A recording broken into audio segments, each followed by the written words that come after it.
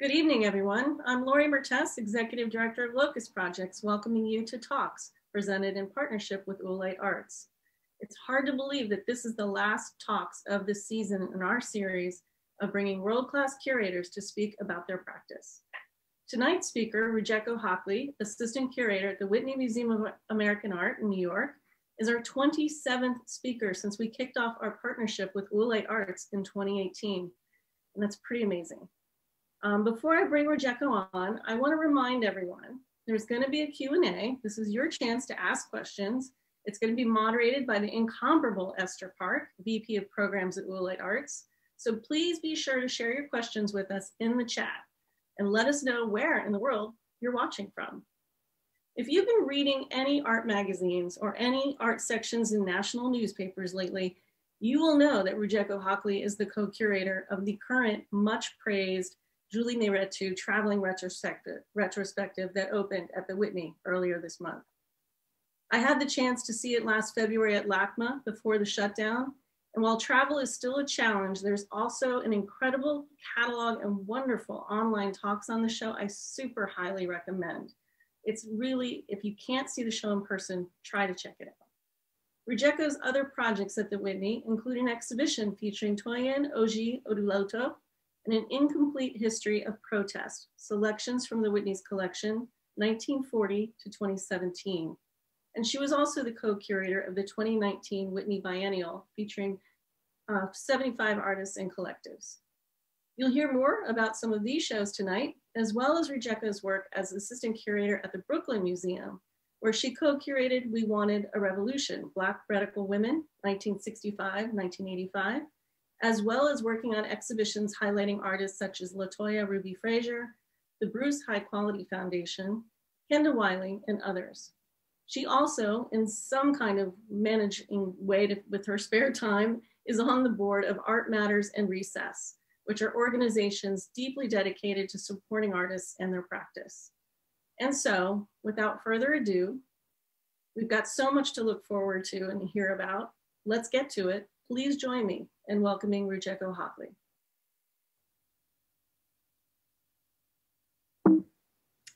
Thank you so much, Lori. Um, and thank you all for being here. here. Um, and thank you to Oolite and to Locust Projects for inviting me. Um, I'm in very esteemed company, um, 27. And I know so many of my peers have also done these talks, and I'm really honored to be a part of this. So thank you for having me. Um, I'm sorry that I can't yet be in Miami. I was really looking forward to the beach but hopefully you'll invite me again and we'll do it that way next time. Um, so today I'm going to be going over, yeah, many of the exhibitions that Lori just mentioned in that very generous introduction um, and kind of talking a little bit about kind of a bigger picture way that I think about the work that I do as a curator. Um, my presentation is probably way larger than is appropriate for the time allotted. So, you know, let's see how that goes. Um, so I will also kind of move quickly through some portions, um, but please stay tuned and stay for the Q&A with me and Esther, which I'm sure will be amazing because Esther is amazing. And yeah, let's get started. Andrew, if you wanna put the slides up. Amazing, magic. Thank you so much. So as Lori mentioned, one of the shows that I worked on at the Brooklyn Museum, the last show that I worked on, We Wanted a Revolution, Black Radical Women, 1965 to 85. Um, it's a show that I curated with Catherine Morris. Um, and it's a show that continues to be really close to my heart um, for many reasons. It built on a lot of work that I did in graduate school at the UC, UC San Diego and just a lot of kind of my, my heart work, I guess. Um, the things that I hold really close to me that I have always kind of held close to me. So this is a quote that we ended the exhibition with actually. Um, and I wanted to start here because in looking through various many presentations I've done over the years, it really struck me that this is kind of a profound statement that actually cuts across for me so much of the work that I do. Um, so I'm going to read it out loud. We believe that the most profound and potentially the most radical politics come directly out of our own identity, as opposed to working to end somebody else's oppression. In the case of Black women, this is a particularly repugnant, dangerous, threatening, and therefore revolutionary concept because it is obvious from looking at all the political movements that have preceded us that anyone is considered more worthy of liberation than ourselves. We reject pedestals, queenhood, and walking 10 paces behind. To be recognized as human, lovely human is enough. And this is a quote taken from the Combahee River Collective's Black Feminist Statement, which they wrote in April 1977. Um, and they were a Black lesbian feminist collective um, founded in Boston in the 1970s. Combahee River is where Harriet Tubman's successful raid occurred, the only military um, campaign planned and executed by Black women in American history to this day. Um, and I just feel like for me, it crystallizes so much of what I'm thinking about in my work, but also in myself. It's kind of to all of us in some ways. Let's see. So I wanted to start with this image of the artists in freestyle, which, if you're not familiar, is a very important exhibition that happened at the Studio Museum in 2001. Um, 2001 was my first year of college. I was an undergraduate at Columbia. I studied art history. I did not see this exhibition. I did not know about this exhibition. I learned about it several years later um, as I began to study art history. Um, and actually, after that, as I began to realize that art history could be contemporary and that artists actually existed in our contemporary moment, not just in the past. This took me until my senior year of college to really figure out, um, which is, you know, a longer conversation about how art history is taught. Um, but I wanted to start here because, again, in preparing for this presentation, I realized there are so many kind of overlapping circles and concentric circles and Venn diagrams in my life. Um, and the Studio Museum has really been at the center um, of so many of them. And so I love this photograph because there are so many artists that I've continued to admire, to work with, um, to be lucky enough to call my friends. Um, here's Julie Mehretu right here in the front, but we also have Rashid Johnson, Sanford Biggers, Kori Newkirk, Kira Harris, um, Laylah Ali, Nadine Robinson, Adia Millett, uh, Mark Bradford, Rico Gatson, Clifford Owens. Um, let's see who else and other people that I'm not going to go through all their names, but many people that have continued to have flourishing careers and people that, you know, at the time I would never have imagined that I would ever work with. Um, so, first of all, you never know what your future holds um, at all. The first exhibition that I ever worked on in my life actually was in the very same galleries, and it was the second so called F exhibition, Frequency. Um, and this is a show that opened at the Studio Museum in November of 2005, I began working there in the summer of 2005, soon after graduating um, from Columbia. And it's the first exhibition of any kind I ever worked on. I was a curatorial assistant, um, and the Studio Museum has a very small staff then as now. And one of the perks of that sort of arrangement is that you learn everything and you participate in everything and you do everything. So we installed, we put together the checklist. This is a show that was curated by Thelma Golden and Christine Y. Kim.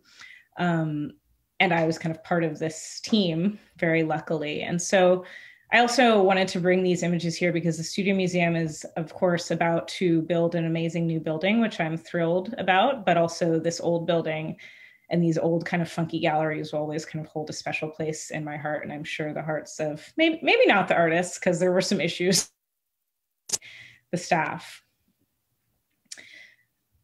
in between the Studio Museum and the Brooklyn Museum, I went, I lived in Southeast Asia. I taught English. I was a temp at various like financial firms and law firms in New York City. I applied to graduate school and I went to graduate school in San Diego. Um, and then I came back to New York. so I did a bunch of stuff. And then I was hired at the Brooklyn Museum as an assistant curator. And the first exhibition I worked on was Latoya Ruby Frazier's A Haunted Capital. Um, and I'm thinking about these exhibitions now, kind of all in this context of this this Combahee River Collective quote around "to be lovely human is enough," um, and that that is is the goal, that is the desire. Um, so Latoya was a really incredible exhibition to work on. I'm going to move kind of quickly through these exhibitions at the Brooklyn Museum, but I wanted to also just share the images because 2013 is both, you know, eons away, but also not that long ago, but we don't always get to see these things in the past. Um, the Bruce High Quality Foundation, Ode to Joy, another exhibition that I worked on, a very different kind of artwork and also a very different kind of group of artists, a collective, um, which I think served me really well in that I've continued to work in collective in some capacity. I've often collaborated curatorially. Um, I've worked on many group exhibitions. Um, and actually, I think working with the Bruce Equality folks was an interesting kind of introduction to that very expansive, kind of proliferating ideas way of working. Crossing Brooklyn, Art from Bushwick, Bed-Stuy, and Beyond is an exhibition. I would say it's the first exhibition that I felt like really had like my kind of print on it. I co-curated it with Eugenie Tsai um, and was very honored to work with her, but also really to be able to work with a really incredible group of artists was my first experience in a kind of large scale thematic group exhibition um, in all of its glory. And so we're looking at David Horvitz, really beautiful project um, with the bells in the foreground, and Paul Ramirez Jonas with his core course in the background, Shantell Martin on the right side. Um, and Miguel Luciano's flags are kind of flying at the top, his kites, which unfortunately you cannot see. But this was an exhibition that was really thinking about how do we think about artists whose practice kind of exceed the bounds of the studio? And this is, again, when I look at the arc of what I've kind of done since 2005, I guess, um, I see kind of some threads of continuity. And this is really one of them this interest in artists um, and in kind of art practices that exceed the bounds of the traditional kind of white box of the gallery or of the studio. And that actually is not a medium specific approach. It's not like, oh, painters don't do that, but you know, people working in performance do. I think actually many artists in all media can have that. So Crossing Brooklyn was an exhibition that really was trying to think literally about artists outside the studio. So we had artists working kind of literally in the waterways of New York City, Marie Laurence. Um, on the left, um, we had artists kind of working in collaboration with the public, um, kind of working in dialogue with the public. Um, we had kind of renderings for projects that were actually never realized. So on the bottom is Linda Goode-Bryant and Project Eats Garden that never looked like that. It actually ended up happening here on the side of the building and was there for many years. And so, in addition to the kind of cyclical nature of um, Studio Museum, there's also kind of cycles and artists who have recurred. And Linda Goode-Bryant is someone who I've been kind of basically in awe of for many, many years before I ever met her and have been very lucky to be able to work with her in different capacities. Um, but this show was the first time I worked with her kind of officially, and we were able to build a terraced garden on the side of the Brooklyn Museum and host a weekly farmers market. Um, Project Eats, if you're not familiar, is a really incredible organization that she founded, um, which runs creates and runs community farms in underserved communities in New York City, um, East New York, Brownsville, um, et cetera. Linda thinks of this as an artwork, of an, as an art project, and as an extension of work that she did um, in the 1970s, founding a gallery called Just Above Midtown. So she's a really incredible person. If you haven't, she will be having a show at MoMA in 2022, I want to say, maybe 23. So you know, watch that space. Um, Kehinde Wiley, um, a very different sort of artist, very different sort of um, exhibition, but again, a really incredible opportunity. Kehinde is somebody who also connects back to the Studio Museum for me, who I met first in those galleries um, at an opening, you know, some opening or the other. And so, again, these cycles and the ways in which these kind of shared interests continue to proliferate. Um, a reminder just of how beautiful that show was, um, which traveled all over the country. Um, I think that's been a really interesting aspect of my work as well is exhibitions that you plan for one location then having a life that really exceeds that location that time. You know the Kehinde's show was on the road for years. I mean it felt like it was like five years. It probably wasn't but it was on the show on the road for at least three years which is a very long time. Um, and a lot can change in three years as we obviously know having lived through a very a year in which massive things have changed. But you know this is always true on some level. So but to be able to create something that then lives in this different way i think is also really important. I've worked most of my career in, um, and at new york you know new york institutions but i'm very interested and very committed to thinking beyond the coasts and also thinking beyond new york. And one of the ways that i think we can do that as curators most effectively is thinking about how our shows travel is being really like conscientious about who our partners are, trying to get our shows to other institutions, trying to kind of not just really kind of myopic, myopically focus on our own audiences and our own cities. Um, this is a show that I just included because I just really loved it. It was like a small little show that paired Kara Walker's African boy attendant that was one of the figures that was included in her project, her creative time project at the Domino Sugar Factory with objects from our decorative arts collection at the Brooklyn Museum that pertain to the sugar trade and to the transatlantic slave trade specifically. And so I think that was one of the really incredible things about working at a encyclopedic museum and having colleagues like the great Barry Harwood, um, who is now deceased, but was an incredible resource, decorative arts curator, um, a person who on my first day of the Brooklyn Museum gave me a tour of all the pro- the all of the period rooms. And we you know like inside the period rooms like took the the rope down walked inside told me about the history of these rooms um, and really knew the collection really inside and out and was an incredible partner actually in thinking about how these objects could tell different stories. Um, decorative arts has not traditionally been a, a, discipline or an area of art history that has been really kind of open to rethinking history and thinking about the kind of stories these objects can tell, which may be not always the stories that, that have been desired, as in why do you know they haven't always wanted to talk about how slavery connects to a, a tea set. Um, for example, or to, you know, a sugar bowl or all of these different kind of objects that are associated with the field. And so that was a really interesting experience for me. And I really have to have, shout out Barry for his willingness to have the conversations and to really be a partner in shifting the conversations around objects that he had been kind of a steward of for many, many years. And then finally at the Brooklyn Museum, I worked on We Wanted a Revolution, as I mentioned. Um, and this is a show that also had a really interesting and long life. It had, it toured to multiple venues. Um, we did two catalogs, which continue to live in the world really amazingly. Um, and, you know, the hashtag proliferates still, which I think is amazing. Um, in these days of social media. Um, and we opened with this incredible painting by Faith Ringgold on the left, for the Women's House and this incredible sculpture passenger in the center of the room. Um, and I love to think about the impact of the show, both in the ways that, you know, audiences were impacted, um, the galleries were always full.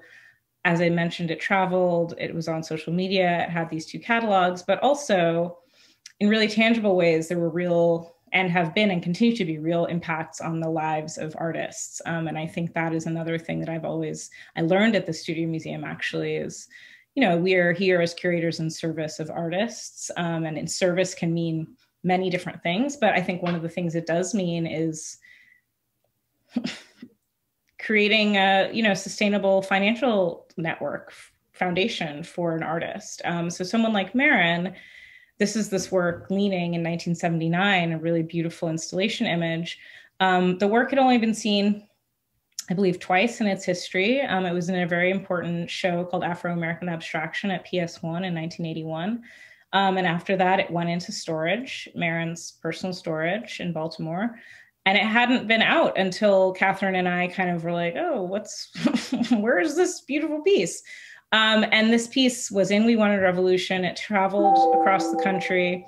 Um, and it now is in MoMA's permanent collection and it is on view at MoMA. Um, you can see it right now at MoMA. And not to say that MoMA is kind of the be all end all, but I do say that for an artist who had been working for as many years as Maren had been, um, in not in obscurity at all, you know, very well known to people who were paying attention, but not certainly not kind of reaping maybe the financial security that one might hope for in their 60s and 70s, um, that this is really meaningful, both from that logistical kind of brass tack standpoint, but also from the kind of I've been doing this my whole life. Um, and it means something. Um, and to be paired here as she was with Senga Nengudi's incredible work, um, one, a really beautiful example her pantyhose sculptures. Um, and they have been friends for you know, half a century and collaborators, um, I think is extremely meaningful. But just like the really material shifts that can happen from a show like a historical show that really causes hopefully a wide scale kind of rethinking of a whole generation of artists. That was really the goal with We Wanted Revolution. Um, so big up Maren. It's really an amazing piece if you have a chance to see it. Um, we Wanted Revolution also included works by Emma Amos, these two paintings on the right that you're seeing, um, another painting on the left by Faith Ringgold. Um, it included a huge amount of ephemera, a lot of which is collected in the catalog. Um, and fundamentally, it was a show that was really interested in thinking about the kind of between the second wave feminist movement, which was primarily white, um, upper middle class, uh, college educated in the United States, and the Black Power movement, which was primarily male, um, and where kind of black black men i should say and where black women fit kind of or didn't fit you know often this idea of kind of between a rock and a hard place. Um, and so it was a show that was really interested in pushing back against the idea that kind of black women either weren't there that they weren't thinking about these issues or that they were only there in some capacity as you know secretaries or scribes but in fact actually they were really agents of change um, both in terms of as art makers um, in terms of as innovators but also as organizers and creators of their own spaces and their own dialogues. Um, and so it was really important to us to include a mix of works of different media. So we have Jae Jarrell's incredible um, wearable suits in the foreground and the back a kind of print wall, including works by Elizabeth Catlett here and here, um, other artists um, like here Emma Amos, uh, Barbara Jones Hogu, uh, other artists like that. So it's really important to think through all these different ways in which women were kind of working and kind of working in collaboration as well um, Dindga McCannon. This is a work that actually came into the Brooklyn Museum's collection following the exhibition. So another example of the ways, and also the Brooklyn Museum just recently acquired another work of Dindga's I saw on Catherine's Instagram, which is exciting. Um, so again, this kind of way in which these shows can have a larger life, both outside of you know the curators and outside of even the audiences, but really have this ripple effect where we start to see you know real shifts um, in both art history and in um, people's lives uh, so this is an incredible work called Revolutionary Sister, in which Dindga was thinking about the Statue of Liberty um, and thinking specifically about the Statue of Liberty as this kind of beacon that wasn't really supposed to be necessarily for Black women, but this reclaiming of her, um, and also kind of this kind of militant idea. These are bullet casings. Um, they're actually kind of toy toy bullet casings because she couldn't afford the real ones. Um, and the thing I love about this work actually is that it has a hinge right here. When we brought it into the museum and looked at it for conservation, we found out that this headpiece is actually unhinged. And the reason for that is because she needed to be able to transport it in her car. Um, and so she kind of created this logistical solution, quite elegant, um, that is both a formal solution in terms of it's her mouth, it cuts right across, but also speaks to the realities of she was transporting her own work. There were no art handlers, there was no kind of art shipping, DIY operation, which she was able to achieve through the efforts of her own herself, but also of her community. Um, Dindga is a founder, along with Faith Ringgold, of a collective called Where We At Black Women Artists. Um, and this is an incredible flyer from an exhibition that they had in 1972 called Cookin' and Smokin'. And you see these kind of incredible images of them. This is Dindga here with her child. Here's Faith. Um, and one of the things that they really talked about is yes, kind of the cooperative aspect and like working together. So there was the kind of inclusion of her child is not an accident because many of them were mothers. And this idea that in the feminist movement at the time, there was kind of this idea of kind of separatism from men, which I think many Black women felt like that just really doesn't work for us. Like we're fighting on multiple fronts. Racism is an issue, sexism is an issue. How can we be separate from black men, black men, excuse me, when black men are being killed by the police. When our children you know our sons will grow up to be black men like that doesn't make any sense to us. Um, but there was also this idea that their identities included that that motherhood caretaking was a part of their work as an artist. It wasn't like a distraction or something separate but of course it does require assistance. And so the collective efforts of where we at were you know giving critiques uh, talking about each other's work giving kind of ideas about where you might show your work putting together exhibitions like this one um, but also shared cooking you know potlucks babysitting um, all of these kinds of the big pictures, kind of nitty gritty, big and small of what it takes and what it took, especially at this time, to be an artist, um, especially a Black woman, um, and especially a parent.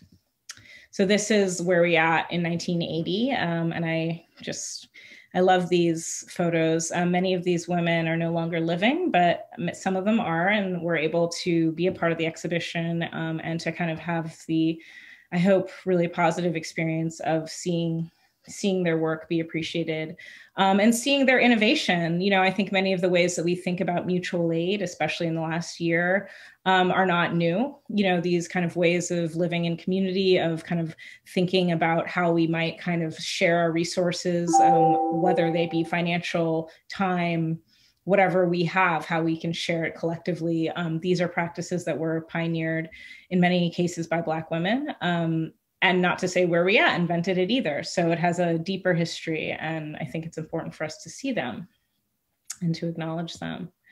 Here is Senga Nengudi with Inside Outside. Um, so many of the sculptures that, for example, the one that we saw in the MoMA image with Maren were made to be inter aspect that connects for me back to the work I did with Crossing Brooklyn. So rather than static sculptures that are meant to just be in the gallery, that is one way they live, um, but they also live um, not so much anymore because they're very fragile, um, but in their kind of intended moment as activated kind of objects to be used by a dancer or by the artist herself. Um, so as I mentioned, this show included a lot of ephemera. Um, and I just wanted to include this note from Len, from Senga Nengudi to Linda Goode-Bryant that was in the Just Above Midtown Gallery's archives. Um, and she says, Dear Linda, please send more business cards of the gallery. Also, please send any old nylons, pantyhose that you can get from anybody there. This will definitely help the cause. Hope all goes well. Love, Senga. Um, and on the other side, we have this Los Angeles Times article with notes by Maren Hassinger that she had sent to Linda saying, I resent being compared to Betty on the basis of race and sex. It's a way to keep us in our places. Um, so this, you know, there's always this kind of interesting, like, where are we allowed to be ourselves? So I love these archival documents both because they speak to the really continuing this idea from where we at, this very quotidian, like regular, like, can you send me some pantyhose? It'll really help the cause, but also a dialogue about criticism, about discourse, about the ways in which artists, specifically Black women artists, are being discussed um, in publications like the New York Times, um, and really saying, like, this isn't how I want to be talked about. This isn't how I see my work. Obviously, nothing wrong with Betty Saar, deep love and respect, but we're not making the same work. It doesn't really have anything to do with each other. Um, and this is something I think we continue to see in 2021. So there you are. Appreciate Maren. Um, finally, we have Faith Ringgold and Michele Wallace, and our, who is her daughter. This is Faith here in this luxurious fur, um, and this is Michelle holding 50% Black women artists. Um, they were part of the Art Workers Coalition and other kind of protest and art activism movements of the time. Um, this is the Whitney, now the Frick, currently um, the the Breuer Building um, on the Upper East Side. Um, and so, I, what I love about this photo is both that they're there obviously and the, the signs and but also the kind of pure joy and the glee of it. They both have these incredible smiles. They're dressed really beautifully. And this idea that like they're going to go to a protest and they're going to go downtown. Maybe they're going to go shopping. Maybe they're going to go out. You know this is just part of their day. Um, and i think that that is a really important aspect as well. Like this wasn't something that like you know we pick up and put down. It was like we do this for our life. Um, now on the left we have another another protest at the Whitney. There were many protests at the Whitney in the 1970s um, for a different reason. It was against an exhibition called Contemporary Black Artists in America. Um, Benny Andrews is the artist you see on the left. He says no more Dotyism. Doty is the curator that had been selected to work on this show. And one of the demands that was made by the Black Emergency Cultural Coalition um, of which Benny Andrews was a founder, was that black curator, a black curator be appointed to work on this exhibition. Um, and that didn't happen. And the exhibition um, was protested, several artists pulled out. Um, when I started at the Whitney, I was asked to work on this show, An Incomplete History of Protest, selections from the Whitney's collection. Um, and this was a really incredible project that I did with my colleagues Jennie Goldstein and David Breslin, um, in which we were really able to look into the archives. Um, that's actually a lot of what you're seeing in these cases is archival material from the Whitney's actually very uh, quite incredible archives of this period and you know all the way to the present. Um, and then the work that's on the wall here, of which here you can see a more clear version, um, is a piece by Faith Ringgold called Hate is a Sin Flag. Um, and in it, she tells the story um, of being in a protest at the Whitney um, and being called a racial slur, and that it was the first time she'd been called a racial slur. Um, and so this is really interesting kind of connection to the institution. Um, but also for me having literally i was working on we wanted a revolution it hadn't even opened yet when i started working at the whitney. I was kind of going back and forth between the two institutions. And i had been steeped in all this archival material in relation to we wanted a revolution and then came to the whitney to kind of be steeped in a whole different but related archival um, bonanza, frankly, things that I wish that I had known existed so we could have put them in We Wanted Revolution, honestly. Um, so I think that was a really interesting experience for me, um, both because it really deepened my knowledge of that period and of kind of the work that I've been doing, but also because it really deepened for me one of these kind of really bedrock ideas and feelings that I have about the relationship between art and politics, the relationship between art and protest, the relationship between, to go back to the Combahee River Collective, one's own identity, um, and the power of speaking from that place um, that we all have. So, an incomplete history of protest um, was up for a year, um, and it included many, many incredible artworks, but it included this work by Julie Mehretu, which you may have seen recently if you saw the show, but you will see in this presentation as I power through it to get us to that part. Um, exhibition with Toyin Ojih Odutola to Wander Determined, who's someone I had known for many years. Um, was really honored to be able to bring this show to the Whitney one of the things or to to work on the show with her at the Whitney one of the things I really was excited about and remain excited about about the Whitney is the kind of nimbleness the way in which we are able to kind of bring shows together quite quickly in comparison to other institutions um, and the commitment to working with younger artists more emerging artists um, people who have not had this was Toyin's kind of this was her first New York Museum show. Um, and I think it really did a lot for her and really propelled her forward in really important ways. Um, I just love these installation shots, and I continue to think it was an incredibly beautiful show. Um, her work is, of course, incredibly beautiful, but I think this wall color, which was a huge kerfuffle that we talked about for weeks, what color to choose, I feel we chose correctly. That's also part of the work. Um, after Toyin's exhibition, um, I embarked on the biennial with my delightful, incredible co curator, Jane Panetta.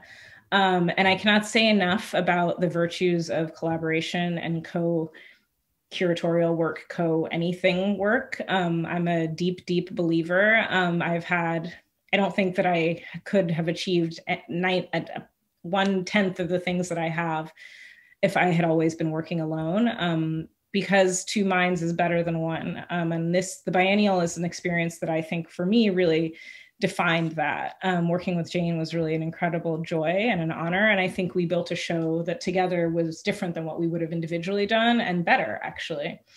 Um, so the biennial, I hope you saw it. We're not going to go deeply into it, but we'll just look at some photos. Um, this is work by Kota Ezawa painting by Jeanette Mundt. Um, the painting back here is by Pat Phillips um, on the right side. Um, these are photographs by Elle Perez. Um, this is a piece by Jeff Gibson. Um, there were 75 artists in the exhibition. I had kind of forgotten that until Lori said it. And I actually kind of had a like, oh my God, what were we thinking?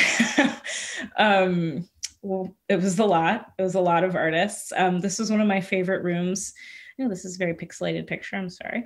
One of my favorite rooms um, in the galleries. One of the things that we really wanted to do, and that was really important to us, was to put artists into dialogue with one another. So rather than individual galleries, one artist, one gallery, we really wanted to think across purposes in some ways. Um, I think both of us um, have really been trained in this idea of group thematic group exhibitions being the kind of gold standard for curatorial work um, and you know, the ultimate. It's not a thematic exhibition in the same way as we wanted Revolution, for example, um, but it is obviously a group exhibition. And I think the challenge that we set for ourselves was how do you create kind of almost a thematic exhibition for something like this that is inherently anti-theme that is a survey it happens every two years or every three years if there's a pandemic um, in this case. Um, and so we have here a painting by Janiva Ellis sculptures by Simone Leigh um, paintings um, excuse me photographs on the back wall by heji shin. And this was just a room that i loved so much because i feel like it really exemplified this idea that we were really interested in thinking about artists who had very diverse practices, very different interests, very different ways of working, and putting them together in ways that felt kind of formally interesting um, and aesthetically interesting, but also conceptually interesting. Obviously, I'm biased, but I think I think we did it in some places very well. Um, this is an image, not the best image, um, but I wanted to share um, that we also included, we thought a lot about performance um, in the relation to this biennial. So this is incredible sculptural installation by Eric Mack on the left, paintings by Jennifer Packer on the right, um, and the dancers that you see walking through in the black are dancers who were part of Brendan Fernandes. Brendan Fernandes's um, performance in his piece in the biennial. Um, so he had an installation that was at the back of the galleries behind these walls. Um, but dancers would activate it um, multiple times a week. Um, and they, of course, were incredibly stately and graceful and beautiful. But I also, it was, you know, a huge logistical challenge also to think about performance in relation to static exhibition um, and in relation to exhibition making. So that was a challenge that I don't think we quite realized how much of a challenge it would be until we were already doing it, thankfully, because I'm thrilled that we were able to do that with artists like Brendan, artists like Madeline Hollander, um, and artists like Autumn Knight, many others. Um, this is work, excuse me, by Daniel Lind-Ramos on the left and Eddie Arroyo, who you all may know from Miami on the right. Um, and I think another thing we were really interested in, um, Danielle is from Puerto Rico, and we were really interested in thinking about not just expanding beyond New York, but I think really thinking through questions of America, foundational to the biennial, foundational to the institution, but also in our kind of particular time, thinking about Puerto Rico was really important to us, and thinking about indigeneity was really important to us. Um, so I think there's always more, and I think we could do more, and everyone can continue to do more. But I do, it was really important to us to think about who is an American and who are the people kind of in our own institution historically, but also in our kind of art world. Um, and so we had some really incredible visits to Puerto Rico. Um, we had a great visit to Miami also. Um, back when we used to do those sorts of things. Um, but yeah, I think it was really powerful. And Danielle is an incredible, incredible artist. Um, if you, I mean, they all are, but he is someone that I think was one he was one among the older artists in the show um, and i think has really just flourished had been flourishing as a professor at the university of puerto rico had been working for many decades um, in the us um, continental us as well as in puerto rico. Um, but i think has really benefited from the shine of the biennial um, and really continued to flourish and make really beautiful work Joe Minter in the center. Um, another thing we were really interested in thinking about is what are these kind of categories of art history that we are kind of accustomed to? We think about assemblage, we think about collage, we think about um, this kind of lineage that goes back to someone like Robert Rauschenberg. And I think we were really interested in positing this question of like, what if we think about someone like Joe Minter, um, Southern vernacular art, um, kind of work specifically made by Black Southern folks is actually this is our native, our work of our nation. Like this is what is kind of innate to us. Um, and so Joe Minter was somebody that was really important to us to because both his work is incredible, um, incredible, incredible, incredible artist. Um, if you have a chance to visit that his African village um, in Birmingham, I please, please go. Um, but also somebody who I think who was kind of unexpectedly in dialogue with a lot of younger artists. So this is Troy Michie's work behind a much younger artist um, in this gallery, which you can't see. We had incredible sculptures by an artist called named Brian Belott, um, and I think there was really and a you know a contemporary New York maker, sculptor. Um, so I think there was a lot of really interesting synergies that even for us, not until we were installing were we like, oh shit, like something is happening here. Um, and I think that is one of the most incredible kind of gifts of this kind of work is that you plan and you plan and you think and you research and you make lists and you you know you do all the work. And then you get into this kind of magical space of installation where you really have no idea what's going to happen on some level even though of course you have a plan. You know we had a floor plan um, that we'd spent months working on. Um, but you still don't know how it's going to feel and things change. And so this was really one of those moments when we installed joe minter's work where i think we felt like this is really powerful to see his work here.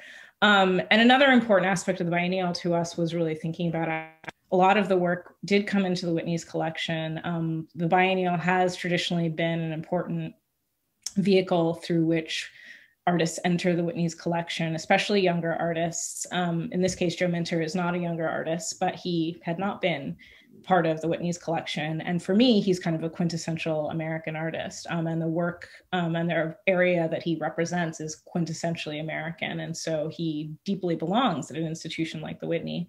Um, so we were very lucky to be able to bring that work into some of this work into the collection so that when we think in the future about collection installations like an incomplete history protest, you know, 50 years from now, when someone's doing their own who knows? Whatever the topic is that now this person is in the collection and is a person who can be part of this narrative alongside someone like rauschenberg um, this was Meriem Bennani, um, her installation on the terrace. We also have these incredible outdoor spaces at the Whitney and really challenged ourselves to think about how we could make use of them. Um, Miriam really made these incredible like viewing stations for videos. So her videos are were on these monitors. There were a couple of these stations. Um, and so you would sit on these stair on these seats and kind of put your face up to the little the little peephole um, and watch the video that way. So also this kind of idea of video not being kind of a passive experience, sculpture not being a passive experience, but actually something that your body engages with and that the artist kind of is thinking about how your body can be a part of it. So this is something I think Miriam did so well. And then finally, we've made it to the present. I'm proud of myself um, Julie Mehretu's mid-career survey that opened just a couple weeks ago at the Whitney. Um, and Julie is somebody, as I we saw earlier, she connects back to the Studio Museum um, and she connects back to kind of this earliest stage of my career. Um, I didn't meet her during freestyle. I met her, you know, sometime in the 2000s. Um, but I'm sure in the context of the Studio Museum, she's a New Yorker. She has she lives in Harlem. Um, and so this show has been many years in the making. As Lori mentioned, it was at LACMA originally. It's a co-organization between the Whitney and the Los Angeles County Museum of Art. Um, and it has been delayed a year, um, but it opened at the high in between. Um, and after the Whitney, it will go on to the Walker in Minneapolis. So it is also having this really incredible kind of cross-continental experience. And there is a really beautiful catalog that we were able to do uh, for the opening at LACMA, which now seems like a lifetime ago. Um, so it's on the fifth floor of the Whitney's galleries, which now this is the third exhibition. Is that right? On the fifth floor. The biennial was on the fifth and the sixth floors. Another interesting aspect of being an institutional curator is that you use the same spaces for different shows um, over and over again, um, and they shift um, and you do do some construction, but kind of it's just always in the back of your mind. You're like, what did we do the last time? What did the other person do? It's always kind of the layers and the layers and the layers, which I think is really incredible. Um, this is only the third time since the Whitney reopened downtown that an entire floor has been given over to a living artist. Um, so this is a really incredible moment um, and a real honor for me, um, but I think also for Julie. Um, so the catalog includes what I call these kind of mind maps. Um, and I love to bring these into these conversations just because I think abstraction, sometimes people have this idea of it being kind of obtuse or kind of less accessible or less kind of political, less kind of having kind of less of a specific content. Um, and in Julie's case, none of those things are true and could not be further from the truth. But also, I think there's these really interesting reverberations, as I was mentioning, the kind of Venn diagrams, everything overlapping. So you see here Julie has the cooking and smoking where we at Black women artists poster that I shared with you. Here she has um, images of protesters. This is at the Metropolitan Museum in 1969, but very related. The same organization, Black Emergency Cultural Coalition, that protested at the Whitney um, with Benny Andrews, et cetera, in 71 we have just above Midtown Gallery um, advertisement in Artforum, um, founded by Linda Goode-Bryant, who I mentioned previously. We have the freestyle cover. This was the catalog. Um, and so I think there's all these interesting, we have the incredible David Hammons um, body print um, and all these kind of different overlaps and over overlaps that are important to me personally, but I think also kind of exhibit the ways in which there is this kind of cyclical, interesting nature to some of this work. Um, so this is me, Christine, and Christine Y. Kim, who's my co-curator of the exhibition, and Julie. Um, and this is Julie's studio. And this is a day that we were selecting drawings um, that would go into the exhibition. Um, and so I just also wanted to to show Julie, to show Christine, um, to show us at work and really honor them both. Um, the show, as I said, the full fifth floor. And one of the things that we wanted to do was think about how to not have this kind of discrete periodization of like Julie's career, like 1996 to 2001, and like and contained, and then 2001 to 2011 contained. The show does proceed chronologically and it does start in 1996, but we were really interested in what would happen if you kind of opened it up a little bit. So when you're looking here, you have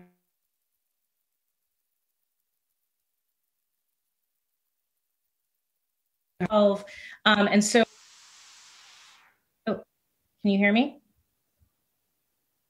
okay good sorry um, so you have these kind of moments where you have the past and the present kind of overlapping and much more in keeping with how artists actually work rather than this kind of discrete chunking that art history likes to do. Um, continuing, this is another Mogamma painting. Now you're looking back. So here, this is 2012. Here, this is like 2005. Um, and now here again, we have this print that I showed previously that was in an incomplete history of protest. Um, epigraph, it's called Epigraph Damascus. Um, and again, now here's the Mogammas, you're looking back at them, and now you're in a gallery that's moving forward into the present, but you're still, again, always looking forward, always looking back. Um, this is, of course, my virtual background.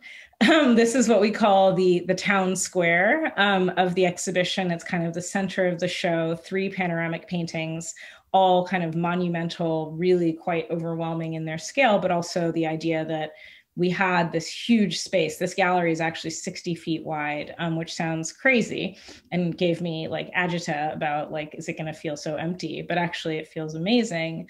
Um, and I think it really gives Julie the the space um, that she deserves um, and the work really the space that it deserves for its kind of full absorption the final thing that I wanted to share about the the installation at the Whitney is that we were able to include a brand new painting, which I think is a very rare thing to do, um, especially these works take many years often to complete. Um, and Julie is someone who's kind of always working on multiple pieces at a time. She's not kind of start, finish one, start, finish the next. They're all at different stages. Um, so this work is called Ghost Hymn After the Raft, and it's the dates are 2019 to 2021. Um, and the way that this came about is that she was had a painting, you know, wasn't wasn't necessarily working on it, and we started to talk about wouldn't it be amazing to put something new in the Whitney's show. Um, and she really wanted to have the windows open. This is facing to the west, to the Hudson River. Um, but one of the logistical issues of having these windows open in any exhibition is the light. So you have to put up a wall to kind of protect the work on the other side. If you put up a wall, then like you just have this giant wall. No one wants to stare at a blank wall. What are you going to put on the wall? Like it's like a whole thing. Um, and so we were like, well, Julie, if you make a painting and it's coming from your studio, the light levels, you know, it's okay. Like you'll get you'll say it's okay um, in a way that an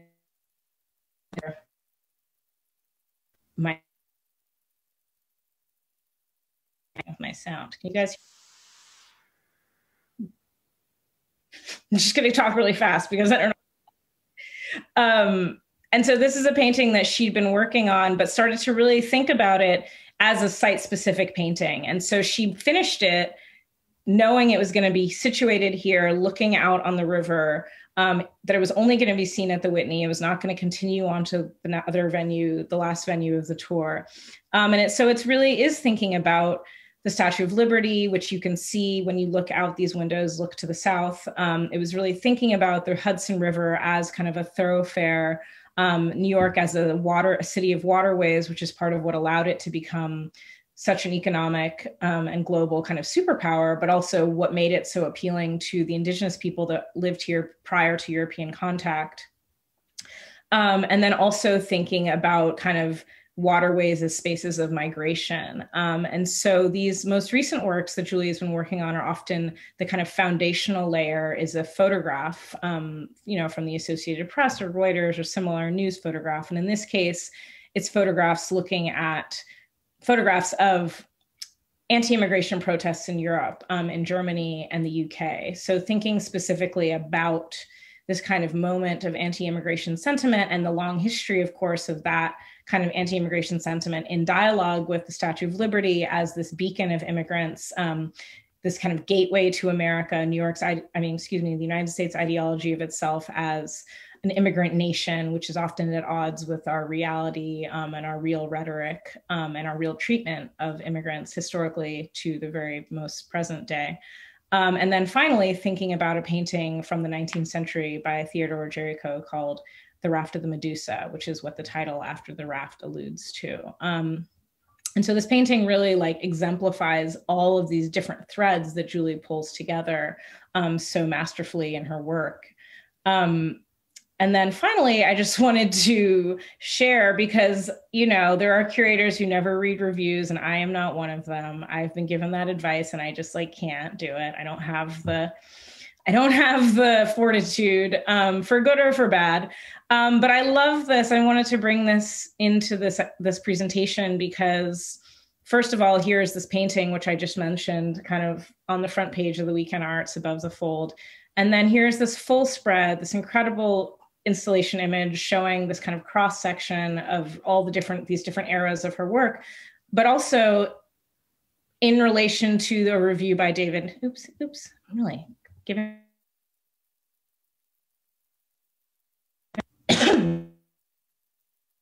to a work, uh, excuse me, a review by, of an exhibition at the Drawing Center by David Hammons. And again, we see this very same image that Julie's kind of mind map that I shared earlier.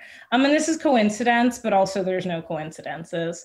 Um, that is also an amazing show if you are in New York and are able to see it. Um, highly recommend. Um, and I wanted to pull something just out of the review um, which I'm not going to read the whole thing, but if you haven't, I encourage you to read it. Um, but the last paragraph I will read um, if the Whitney retrospective has one value above all, especially for young artists, it's Mehretu's absolute refusal to accept a role so reduced. The new paintings reveal their workings more slowly than before. They're more haunted and far more difficult. Their mass overpowers all attempts to fix the artist's own position within some neo colonial matrix. They demand attention to form and long minutes of looking, and even then, here's their pleasure and their political potency. They will not give up all their secrets. Um, and I wanted to end there just thinking about this in relation to these kind of words that I started with with the Combahee River Collective and kind of how an artist like Julie Mehretu in the 21st century is kind of still advancing these ideas that were kind of given to us by earlier generations of Black artists, of Black women, of Black queer women.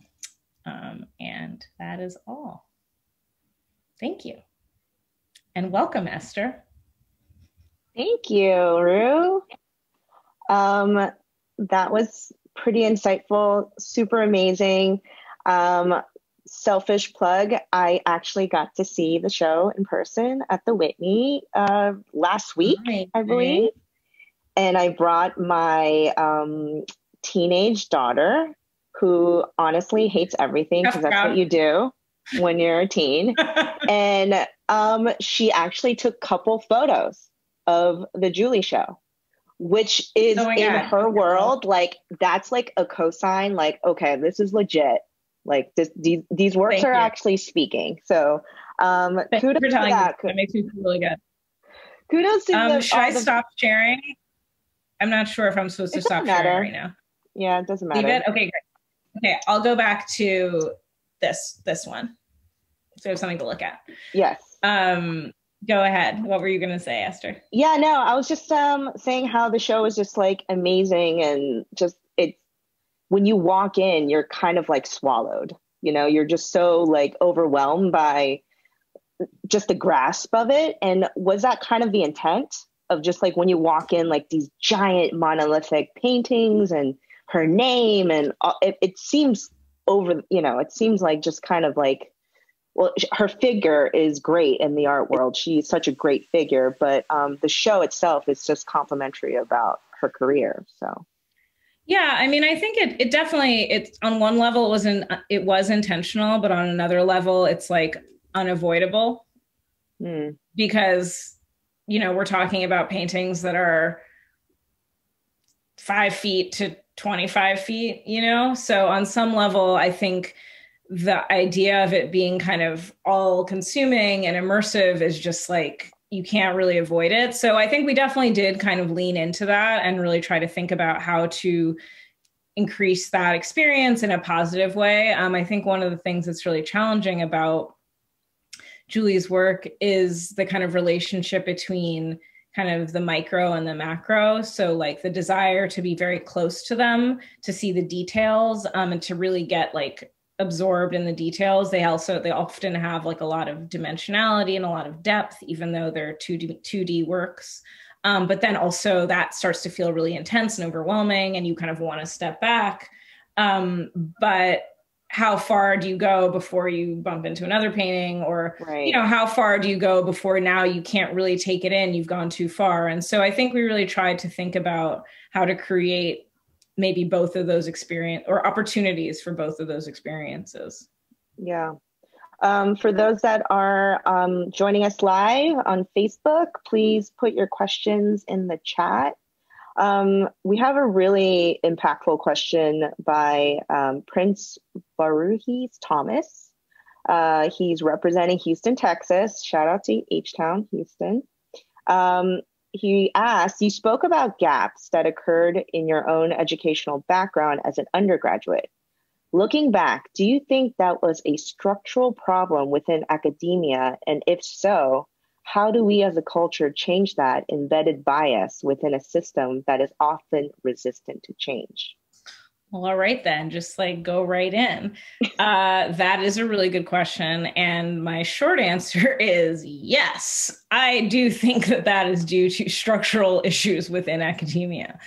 Um, not necessarily malicious, you know, mm-hmm. I wouldn't necessarily, I mean, yes, some people maybe think XYZ about who's important and who's valuable and who's not. But I think more often than not, it's this idea of the accepted narratives, the accepted wisdom. Um, and art history, I think, has been very resistant um, and slow to change in comparison to some other kind of academic disciplines.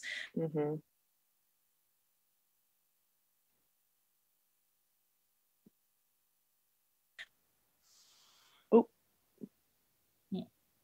You're going in and out with the sound. Is it better? Yes, much better just like not going to move. I'm not even touching anything. I don't know what's happening. This never happens. Um, I think one of the ways that we change it, I mean, that was a real overt goal with We Wanted a Revolution. That's why we did a catalog. Um, that's why we did two catalogs. That's why we made the catalog, the first catalog, into like a course reader. It literally mm. mimics the kind of course book that you know i would have you know we'd have to buy for our, our, art history classes with a selection of articles that the professor had chosen that were important you know addendum to our textbook or whatever um, and we i was we really thought very consciously about that format um, and that price point that book is i think 22.95 Mm. Maybe it's twenty four ninety five. Mm-hmm. Um, we I wanted to be under twenty five dollars because we wanted professors to put it on their mm. reading lists. Mm-hmm. And we wanted it to be accessible to people in and outside of academia, you know, because I also think we learn in all sorts of spaces. Um, and I thought think of that exhibition as really hopefully a teaching experience, whether you're an art history student, whether you're in college, whether you go to college ever or not. Um, but that is for me, that was one of the ways that we thought about it. Um, and and I've had this really amazing experience now multiple times of people telling me, oh, like I took this class, you know, 20th century art history, you know, art history since 1970, like whatever it is, feminist art history, African American art history, and your catalog was on my syllabus. Mm. Like we read, it was like one of the books we had to read. Um, so for me, that's been incredibly heartening because of exactly the kind of issue that you have raised and this question. Um, you know, I also think there are professors who've been doing this work for a very, very long time. Um, and there's also institutions that have been doing this work for a very, very long time. So, mm-hmm. you know, mm-hmm. Howard University has had an art history department since the early 20th century, if not earlier. Um, there's been an ongoing, incredible lecture series um, at Howard, specifically looking at art history. Um, and so, you know, there were gaps in my education but I also at some point became aware of those gaps. Um, and I don't think that the onus should always be on the student to kind of do that busy work. It's not busy work, but you know, to do that work of filling. But I also think that on some level, part of me feels a little bit like, okay, so y'all don't want to teach that. Like, I'm gonna mm-hmm. go talk to people who are. Mm-hmm. Um, I think we lost you again. Can you say something? oh, okay, we have you. Um, yeah, no, I mean, absolutely. In regards to kind of the resistance oh, of change. No, oh. I can't hear you. Oh, can you hear me? What's going on? Can you hear me? Hello. Hello. Hold on. Can the audience hear me? mm. Okay. Did that work? I can hear you. Can you hear me? No, I can't hear you. Okay, oh, hold on. It's okay. You know, technical difficulties. It's 2021. Okay, wait, hold on, Esther. We're, we're trying one thing here. I don't okay. know what's happening.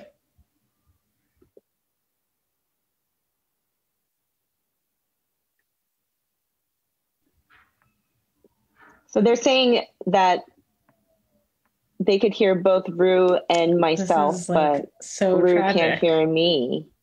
So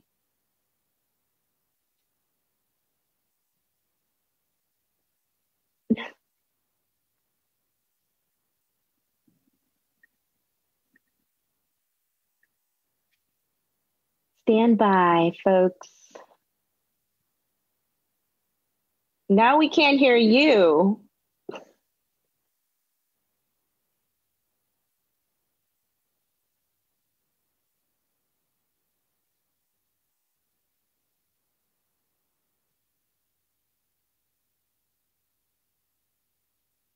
Maybe take off the headphones again because we can't hear you, Rue, back before we could hear you.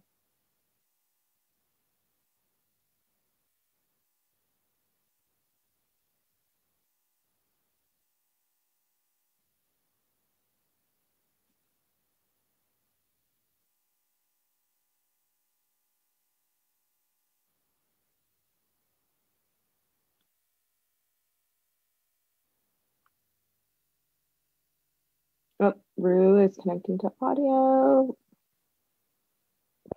Wait, she's connecting to audio. Hello?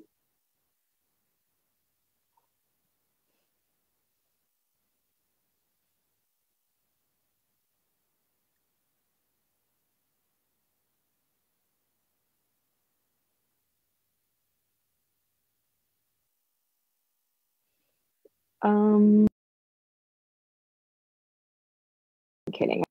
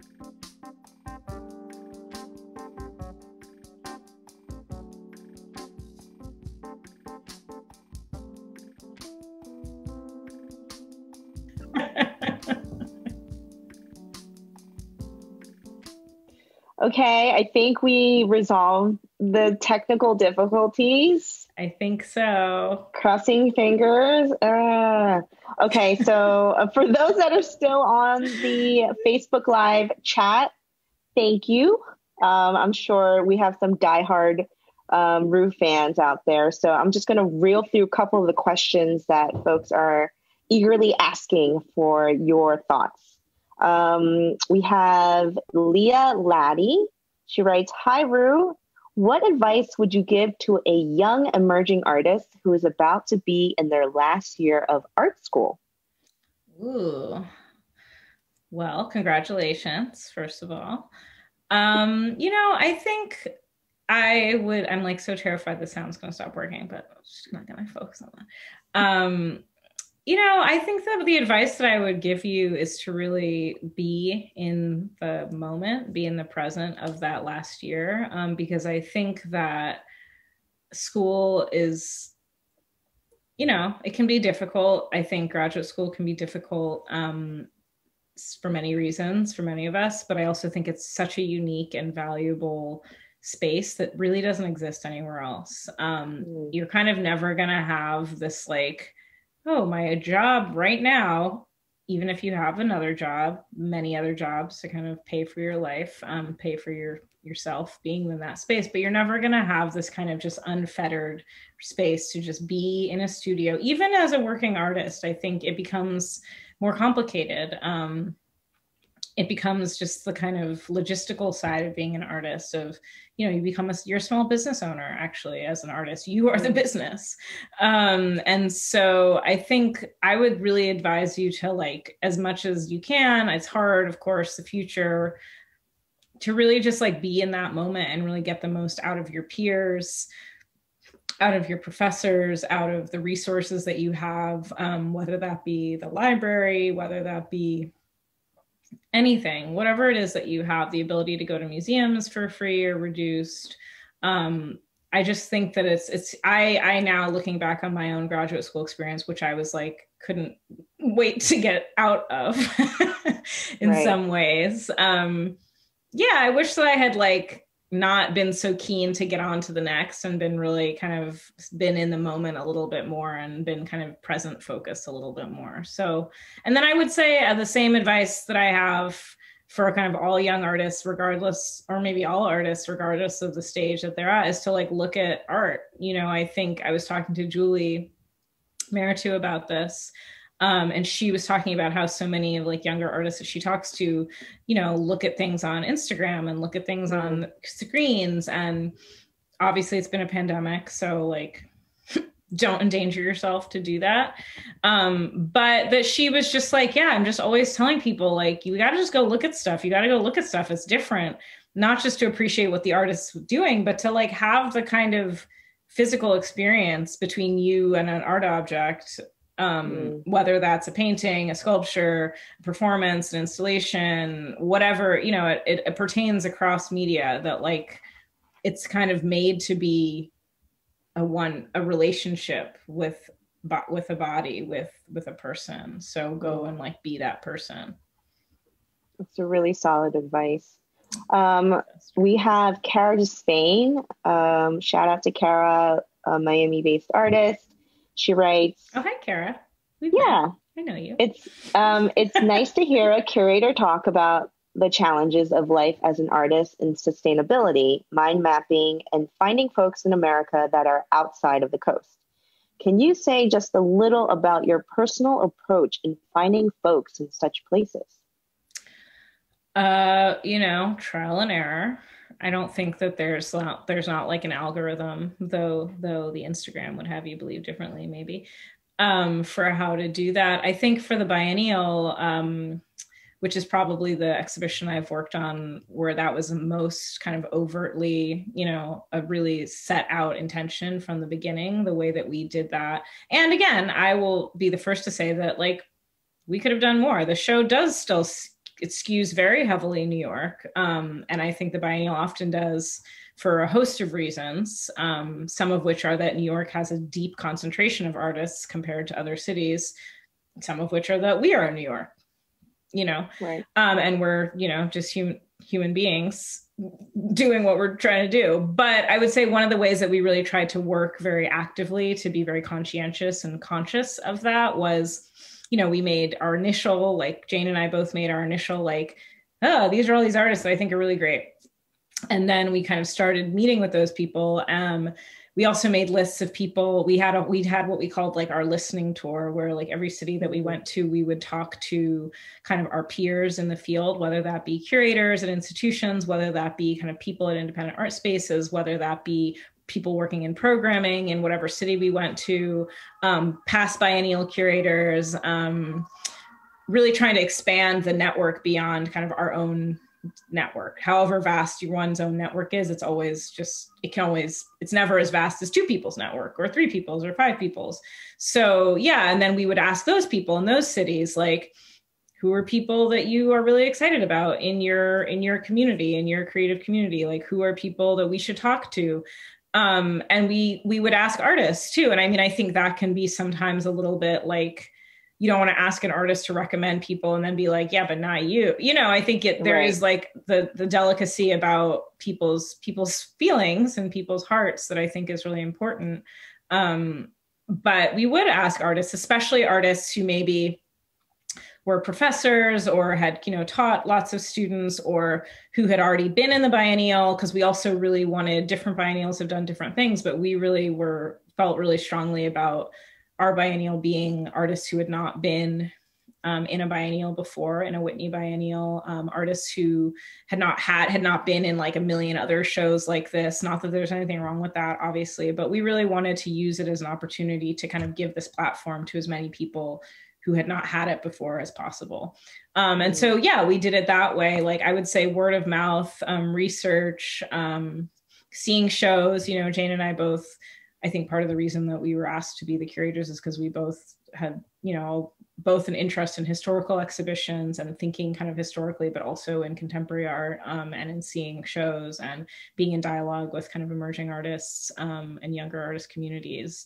Um, so, yeah, I mean, and I definitely, there's definitely artists that I'm like, oh man, like we, nope, should have, should have invited that person. You know, I think there's right. always, at a certain point, you know, you have to stop inviting people because you have to make the show and because you're you know the colleagues all the other people at the museum who are so integral um, to putting the show like that which is a huge undertaking the whole museum is involved sure. um, in some capacity you know you have to like let them do their work and the more if you keep on adding people it's just like they can't you know mm-hmm. budget there's all these reasons why of course you just can't keep adding people um, but it, that was like one of the hardest parts is to be like all right that's the last that's the last person. Right. I mean, you must you must have done, I mean, zillions of studio visits, right? Just you know, or we did artist meetings, and we had so many. I mean, I think at some point yeah. I had all the stats like rattled off in my head, but I think we did like almost you know over 300 studio visits. Wow.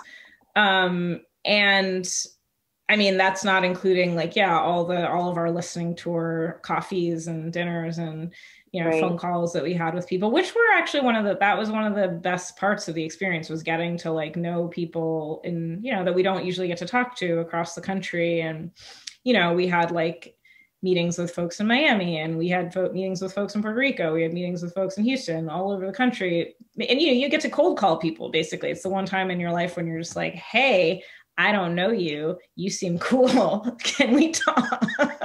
I'm a huge fan and it's not weird. Yeah, no, I think uh, it's like one of getting those calls from like the MacArthur, one of those like, you know, like you just won a million dollars. You're like, uh, yeah, let's talk, you know? Um, yeah. I'm so sure it's a well welcomed, received cold call for sure. Hopefully. We tried, we tried yeah. to take people out to, you know, nice lunches. um, um, speaking of, so I had a personal question I wanted to ask you. You know, first things first, how are you? I'm good. Thank you for asking. You know, we're hanging in. Yeah. In the panini, whatever yeah. you want to call it. We're still here, thankfully, the, gratefully, mercifully. Yeah. Mm-hmm. I mean, so obviously 2020 and the continuation of 2020, which is 2021, has been, you know, I don't want to even say all of the typical buzzwords, you know, unprecedented and, you know, special. Da, da, da, yeah, special. Um, and just it's extremely exhausting, as you know. Extremely you exhausting. as a mother, I'm sure you, that's that alone is exhausting. Yes. Has the past, I guess, 18 months um, shifted your your views on being a curator? Oh damn. Well, okay. Um, you know, I yes, yes, it has. I mean, I think the past 18 months have shifted my views on work in general. Um, mm-hmm. I think I, I read like an article or something the other day that was like, why are we so burnt out? And, you know, I am burnt out. I am, as I'm sure mm-hmm. you are, and many of us are. Um, even as I am very grateful to have a job um, sure. and to have a home and to be healthy. You know, it's like all of those things are simultaneously true. Um, but it was like the whatever I was reading was like we're so burnt out partially because when you take everything away except for work, mm. and which mm. is kind of what's happened, like our social lives have kind of disappeared, our family lives outside of you know our very immediate nuclear family or maybe if we're lucky enough to have family nearby to be able to like be in a pod with um, our kind of travel life has disappeared our kind of be moving beyond the boundaries of our own mm. homes and maybe if maybe our own street has disappeared and it's obviously coming back in some ways but like when everything else has gone and you still have to work kind yeah. of in the same way and maybe more you know, because the Zoom life, it proliferates. Sometimes I feel like I'm busier. Like I have more meetings mm. in a day than I would ever have had if, because you would never schedule people's calendars like with five meetings, physical in person meetings back to back, but you Zoom, oh yeah. Yeah. You know, and yeah. I think that is a, that applies to many people. So, yeah, I think the past 18 months have really changed how I think about work and how I think about its relationship to to my family, to my daughter. Yeah, she's two. So half her life has been the pandemic and god bless her you know her utero life was planning the biennial um, and her post very immediately post birth life was the biennial opening um, so you know she's, she's gonna have an interesting yeah yeah yeah for she's sure. a, a trooper um, and also you know a great light in this year like yeah. you know so i can't it's again it's always both and all the time. Um, but yeah i mean i think how we spend our time and what we spend our time doing feels so and it's unresolved. Like i'm not like oh and now exact i do only what i want exactly when i want. Far from it. But you know it's like i think about it a little bit differently. Um, and when i think about returning to work um, in a non-remote way you know, I'm much more committed to thinking about how do we create work life balance for people, like, especially, you know, having had a baby during the biennial, been very stressed about when to go back and not wanting to miss out and not wanting people to think I'm like, God forbid, like postpartum, like, you know, really trying to like, I'm doing it all. I'm fine. I'm fine. I'm fine. Um, you know, and I think nobody put that pressure on me except for me you know, mm. except for, okay, great. Yes, society, the whole world, everybody, but no individual was like, tisk tisk, what are you doing? Right. Um, so yeah, I think I'm really interested in thinking about how do we go back to work? Um, how do we go back to our lives in a way that allows us to be our full selves? Um, right. and allows us to say no to things um, and to only say like emphatic yeses to things. Um, yeah. To only do things that we emphatically feel so excited about because at the end of the day it's like time away from my family. It's time away from myself. It's time away you know from yeah like what is but what are you, we even doing? You know? Yeah i mean there's just so many levels to it too. And i'm just curious as well um, if you have this kind of like weighted pressure right? Particularly with the current climate. Um, mm-hmm. um, you know with black lives matter and you know with stop asian hate and all of mm-hmm. these things that like as somebody of your you know figure in the art world which is let's be honest is a pretty damn white male art world mm-hmm. do you get the sense of like holy shit not only am i of color i'm a woman i'm a mother i mean there's so many levels to it and it's like all eyes are on rue right they're just kind of like wow. what is she doing next? What's going on? What is she going to say? What and you know, she's zooming.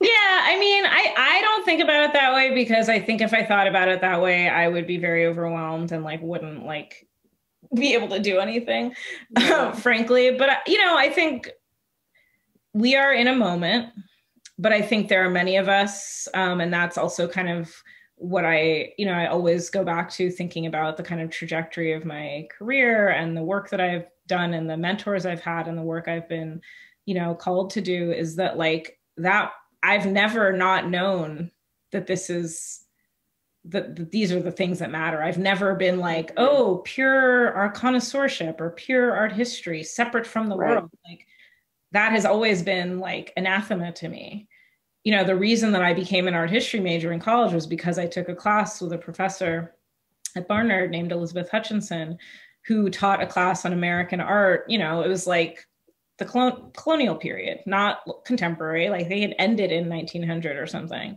Um, mm. But she taught that class kind of from pre Revolutionary War to 1900, thinking about Indigenous people, thinking about mm. slavery, thinking about uh, manifest destiny thinking about you know all of this was incorporated into our class and it because it belongs. Like how do you talk about mm. the hudson river school without talking about manifest destiny without talking about the genocide of native people? Like how do you talk about so many things that are like innate to american art um, in its early you know how do you talk about colonial portraiture without talking about the very few kind of black artists? Um, how do you talk you know there's just who were among kind of the best, most, you know, best, most pursued portraitists. How do you not talk about this person's race and what their experience was as an artist in a totally kind of racist society in which they actually were successful and renowned and appreciated? You know, so it's like, that was the moment that I was like, oh, like I can be an art history major. Because before I was like, well, I like it, but mm. I don't know.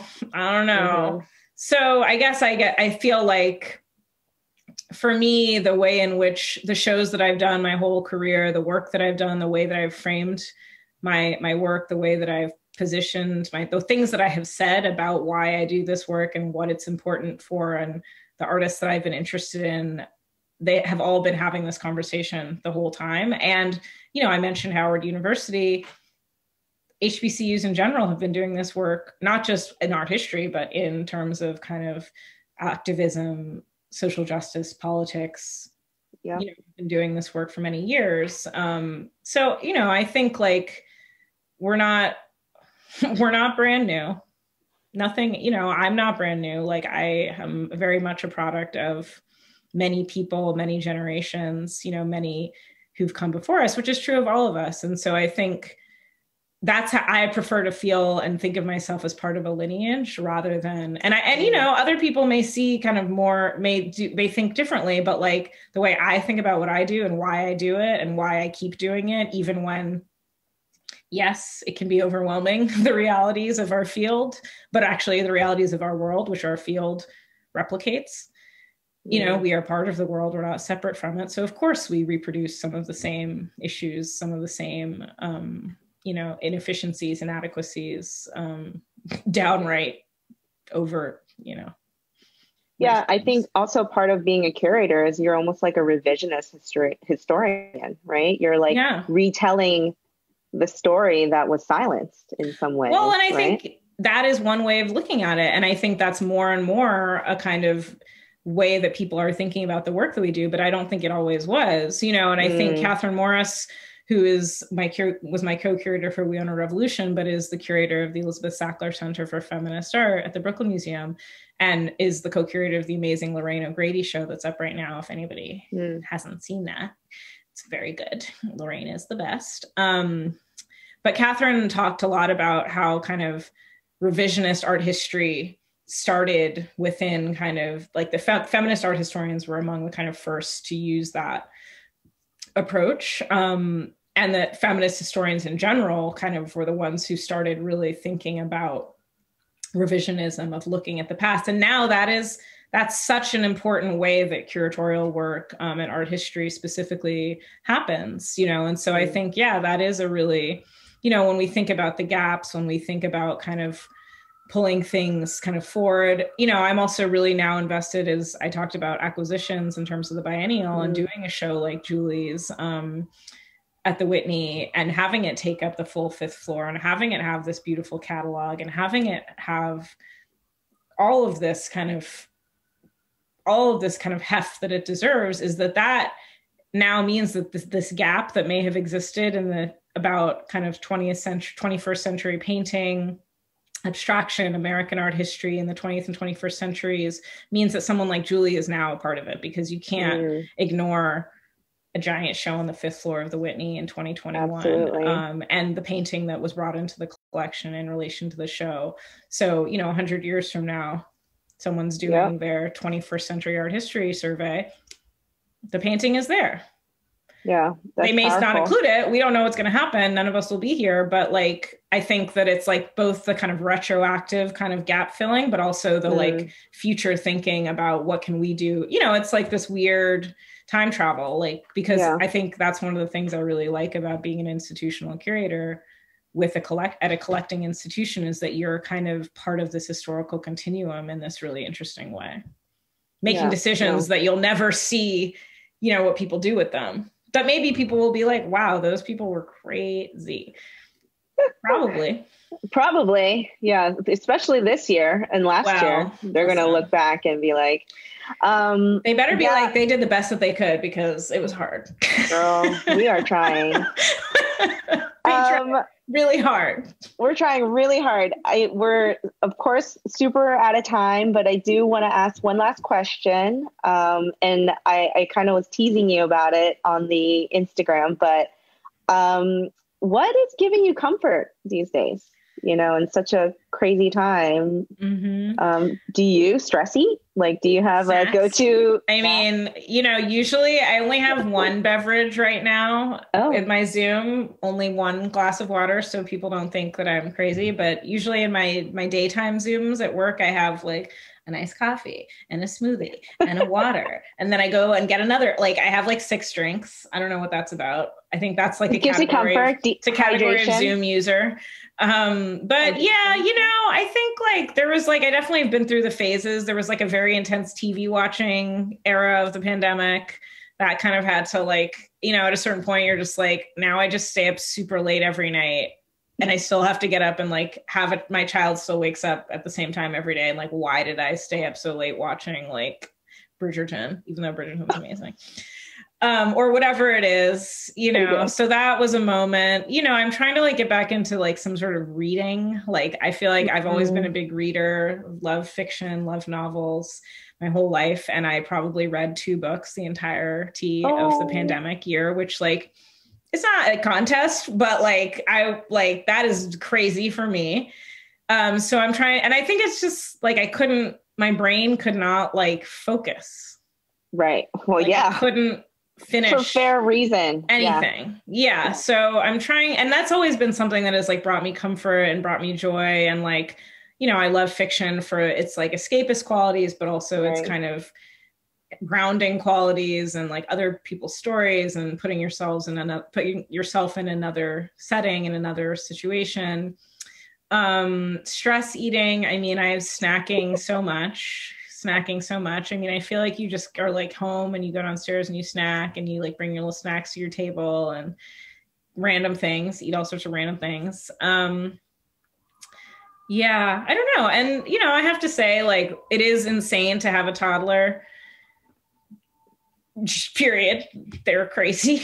They're um, crazy. They're crazy. They're like drunk little people. They're and they're like just like just have no sense of their own you know mortality or vulnerability it's amazing but also yeah. are like i'm so happy i'm so mad i'm so sad oh look speaking of do you want to come see esther hi we have a visitor she's being shy i think oh you want to come see esther Zetzi? you just watching from the door all it's right. okay. You're still doing your talk. I am still doing my talk. we're just we're just you know. Esther and I are chatting. We're doing the Q and A portion. Um, but yeah, I mean, I think that is. Mommy. Hi.